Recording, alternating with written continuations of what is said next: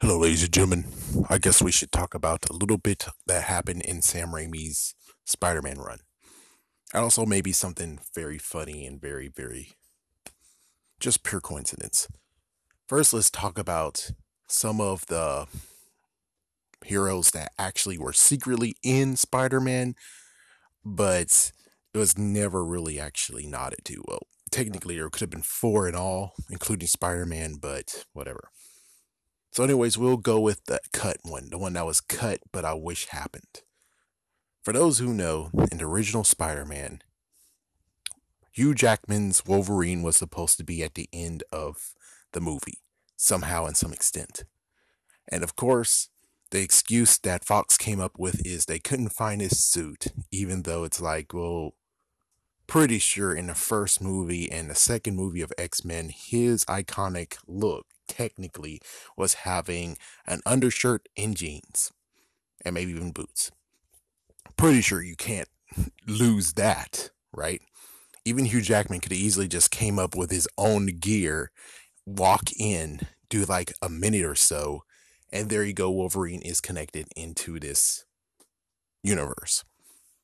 But that one didn't happen, so that sucks. The next one was Spider-Man 2. Spider-Man 2, I knew there was two things in Spider-Man 2. Nothing happened in Spider-Man 3 except for lots and lots of crap. But anyways, in Spider-Man 2, two things happened. One, they mentioned Doctor Strange was in the universe. And for those who don't know, which apparently no one really remembers, there was secretly a plan to have a Doctor Strange movie in 2005 or 2006. They were planning on it, and of course, it crumbled. Everything that always had Doctor Strange in it crumbled. If you look the previous movie before the one that we got for the MCU, it was a TV special that was supposed to be a pilot that's supposed to give us a new, an actual Doctor Strange TV show. And of course, you can figure out what happened there. The pilot didn't actually draw an interest, and all it is now is just a TV movie instead of actually having a TV show of its own. But yeah, Doctor Strange technically is in that universe. The second part is that you actually have the Punisher in the universe. It is very, very crazy, but yes, I knew there was something up with the guy in black. He looked very, very suspicious. Like the first two times I watched Spider Man 2, but eventually I just ignored it because there was nothing that came out of it. I mean, technically in Punisher War Ground, they could have done something, but they didn't and they recast, and I have no idea what happened to the original person. So it's really messed up where it's like they based it off the original movie of the Punisher. They couldn't get the original guy because of copywriting and stuff. Good job, New Line Cinema. So instead, they got the stuntman of Punisher. So there you go. It kind of works. They couldn't get the skull, but at least he's dressed in all black, and it's like, sure but it was kind of like a nod that happened, but we didn't really notice it. Truthfully, I I noticed it, but I didn't know what to become of it. Did I watch the Punisher movie? Yes, but I only watched it once. Is it recently, like a few months ago, I watched it two more times, or basically within two years, I watched it two more times.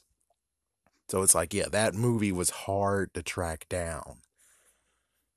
Heck, Punisher Warzone was hard to track down. I didn't really want to pay the money for it. I kind of want to see it again. And, well, I finally got to.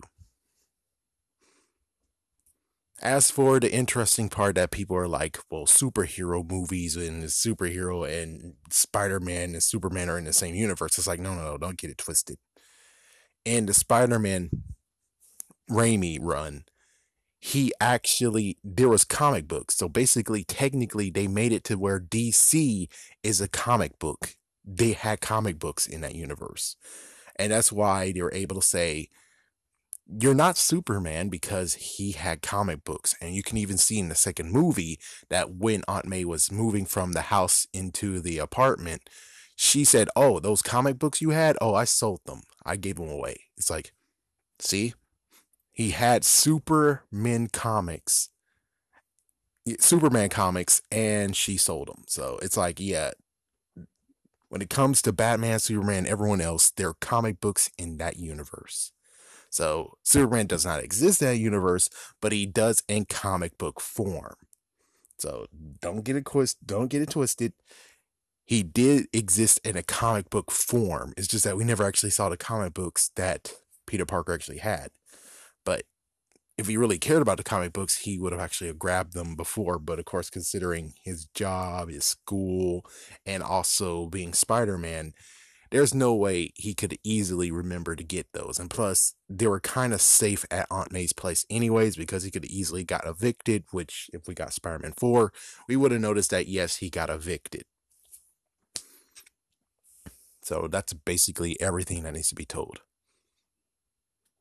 it would have been cool that Doctor Strange would have been a part of Spider Man in a way, and they could have actually did some cameo. Who knows what would have happened? Who knows if New Line would actually have not been an idiot and actually allowed? Not to mention, it's kind of crazy how New Line was the reason why Blade got lots of stuff. Blade got three movies, he got a TV show, Spike's an idiot and then it gets to the point of where it's like so they they had punisher and they had blade.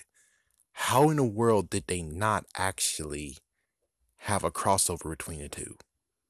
I mean why in the world didn't they do have they didn't have a blade Punisher movie. I mean, that would have been cool. Like, you know, just have it between the first and second, the second and third movie where you have Punisher looking for a certain man. He's a messed up crime boss. And it turns out the crime boss actually is a vampire. It works. That would have been a nice crossover movie. Just as long as it's written well. The only messed up part is would they actually be able to get to nah i'm pretty sure they would have had for all those movies for punisher they would have had a new person playing as punisher each way. It's either that or maybe they'll get the first actor or maybe they got the second actor or the second actor wouldn't have got chosen and then the person who was in the crossover would have been in the second movie as well. We don't know.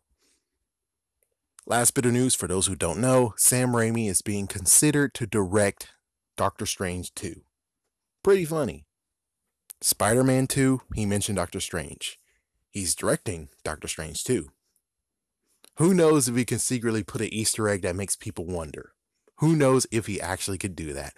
And plus, since it was something of madness, who's to say that they won't actually maybe have Tobey Maguire in there somewhere or Spider-Man somewhere because he is the director. He could put some interesting facts in there, something interesting because if they both actually do things, it is crazy, you know?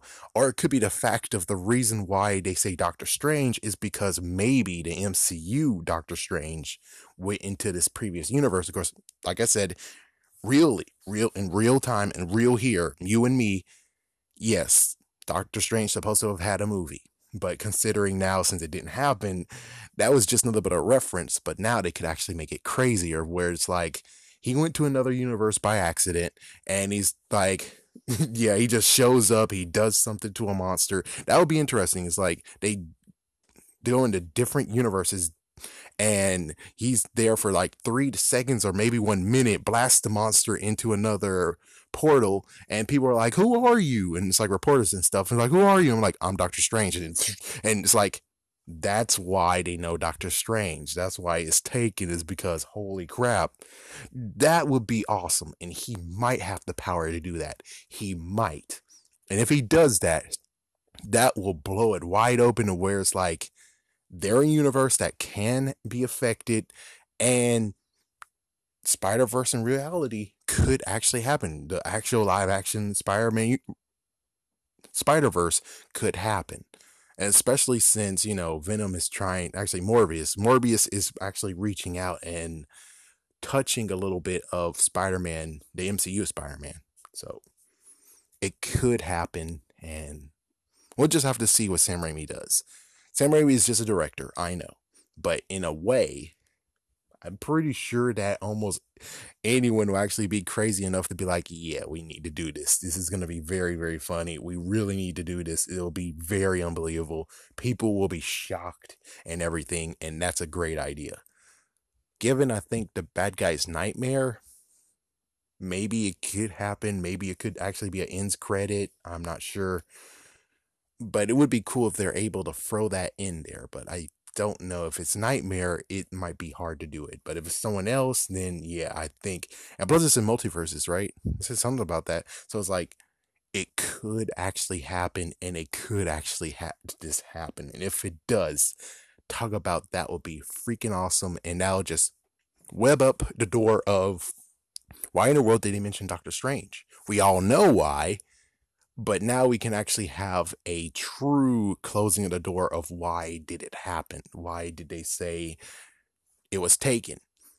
And they could just do this simple thing I told them, and there you go. It's pretty easy. Everyone's film, well, at least one film caster's there by coincidence, you know, or some writer, some some you know reporter, someone with a camera. It's like something like that, you know.